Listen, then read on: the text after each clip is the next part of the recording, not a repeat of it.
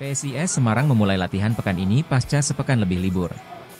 Tim Mahesa Jenar secara bertahap memulai persiapan untuk laga kandang menghadapi Persija Jakarta di Stadion Mot Subroto Magelang, 17 Oktober mendatang.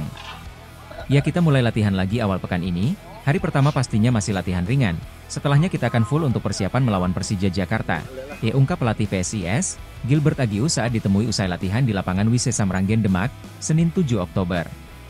Menurut pelatih asal Malta ini, langkah PSIS jelang menata pertandingan pekan ke-8 BRI Liga 1 2024-2025 yakni kontra Persija Jakarta cukup berat karena tren buruk tim pada empat laga terakhir. Pada empat partai tersebut, Septian David dan kawan-kawan hanya mampu meraih satu angka saat bertandang ke markas PSM Makassar.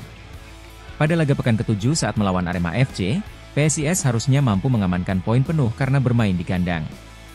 Tetapi nyatanya PSIS justru kalah dramatis 1-2. Sebabnya, PSIS sudah unggul 1-0 hingga jelang menit akhir pertandingan, tetapi Arema berhasil comeback di menit 90 dan 95. Ya memang hasil lawan Arema tidak bagus, lalu kita cuma bisa dapat satu poin dalam empat laga.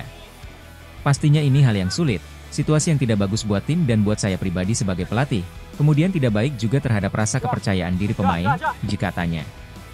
Menurut Gilbert, timnya harus mampu bangkit demi mengamankan tiga poin penting ini. Tantangan bukan hanya dari kepercayaan diri tim yang tidak dalam kondisi terbaik namun juga skuad PSIS yang dipastikan masih dalam kondisi pincang. Pemain yang sudah pasti absen yakni Rian Ardiansyah karena terkena kartu merah pada laga lawan Arema.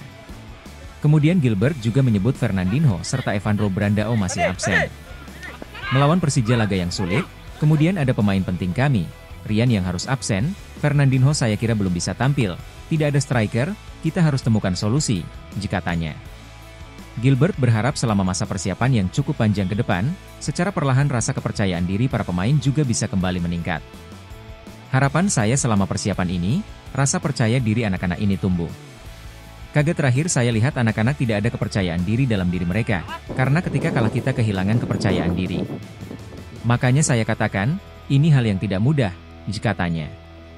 Kita bukan tim terbaik di Indonesia jadi kita harus kerja keras, itandasnya. Download Tribun X sekarang. Menghadirkan lokal menjadi Indonesia.